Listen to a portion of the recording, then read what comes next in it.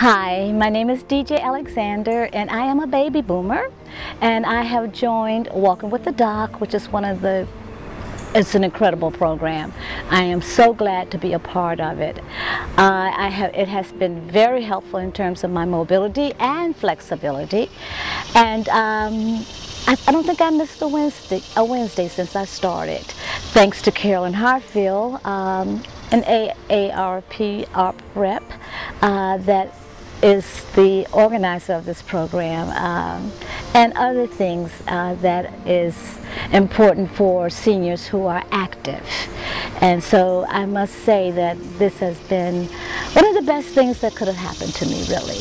And I love being here. Thank you so much, Carol. Thank you, Walk with the uh, Doc program.